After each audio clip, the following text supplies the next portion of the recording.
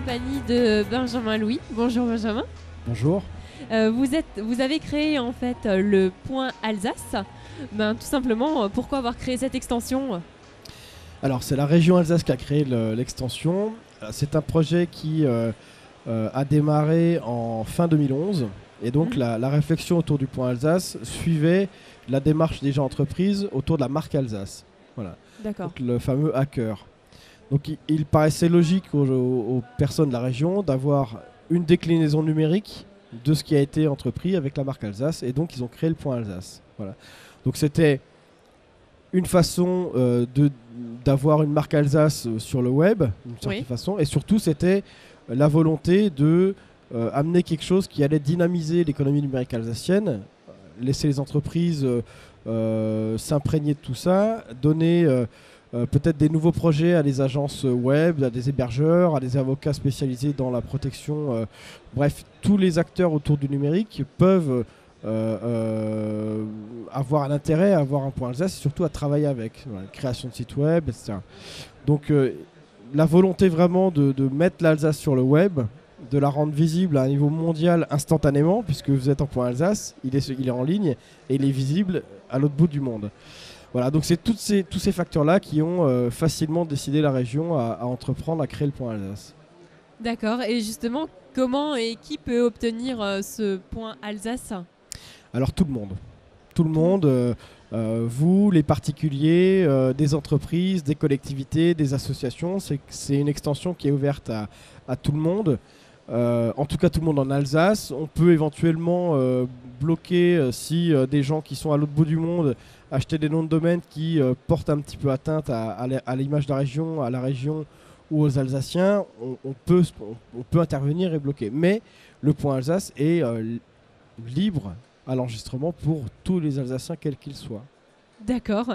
Et donc vous avez créé ce point Alsace il y a six mois. Un petit bilan justement depuis, ben, depuis sa création? Alors, on a travaillé de, de longues années sur ce projet, donc comme je disais depuis euh, fin 2011, et il a été euh, ouvert à tous en avril, c'était le 7 avril euh, même plus précisément, 7 avril de cette année 2015. D'accord. Donc ça fait à peu près 6 mois que le point Alsace est en ligne. Alors ce qu'on peut dire c'est qu'on a au jour d'aujourd'hui à peu près 2000 noms de domaine enregistrés, ce qui est, ce qui est pas mal. Tout à si fait. on regarde un petit peu ce qui se fait ailleurs sur d'autres extensions du même ordre que les nôtres, euh, rapportées à la population au nombre d'entreprises, c'est plutôt un, c'est un bon début, c'est sympa, c'est intéressant. Euh, les entreprises ont été assez réactives. Mm. Et c'est vrai que euh, les gens en parlent de plus en plus, viennent nous poser de plus en plus de questions. Il y a un vrai intérêt autour des noms de domaine euh, pour, pour avoir sa marque, le nom de son entreprise, etc., le nom de son association, mais aussi des, des, entre- des entreprises qui viennent spontanément en ayant des projets bien, bien particuliers, euh, comme euh, de- de- avec des noms de domaine génériques. Comme par exemple, on a eu euh, asperge.alsace, qui ça a été un site, ou bredele.alsace, où il y a des sites. Donc c'est des noms génériques, c'est pas que des noms d'entreprise, et ça c'est des choses qui sont très intéressantes et qui intéressent grandement le public et les entreprises. Très bien, merci. Et je crois que vous lancez un concours SEO. Pouvez, ben justement, est-ce que vous pouvez nous en dire un petit peu plus? Alors, pour, euh, pour faire connaître le point Alsace, pour dynamiser un petit peu euh, euh, cette extension, on a organisé avec la CCI Alsace, avec le salon Innovia et avec le parrainage, d'ailleurs je le remercie au passage, d'Olivier Andrieux, euh, qui fera une conférence euh, cet après-midi à 17h euh, sur le SEO. Donc on lance, à la fin de sa conférence, on lance un concours de référencement. Alors que ça consiste en quoi? N'importe qui peut s'inscrire. Si vous considérez que vous avez des connaissances en SEO ou vous avez envie de montrer que vous en avez, pouvez vous inscrire sur concoursseo.alsace. Très simple. Mhm. Euh, vous inscrivez, on vous on révélera le mot-clé sur lequel il faut positionner un site que vous allez créer à cette occasion en point Alsace. D'accord. Et fin février, mi-février plus précisément, on arrête le concours et on regarde, en tapant le mot-clé en question dans Google, on regarde qui est le mieux classé et c'est lui qui a gagné. Voilà. Et il y a de nombreux lots à gagner, Oui. surtout de la visibilité, dont un, un, un stand au Salon Innovia 2016. Pour l'année prochaine. Pas rien, ouais, tout à fait. D'accord, d'accord. Alors, euh, quels sont justement les événements à suivre euh, avec euh, Point Alsace, notamment bah, si on parle de la fusion des régions. Alors, des événements simples, c'est pour 2016, il y a probablement deux, choses importantes pour nous, mais qui paraissent peut-être un peu futiles pour, les gens qui regarderont cette vidéo, c'est l'arrivée des, noms de domaine à, deux lettres, tout simplement, Mhm. euh, et euh, les IDN qui sont les caractères accentués. Bon voilà. Je D'accord. passe maintenant.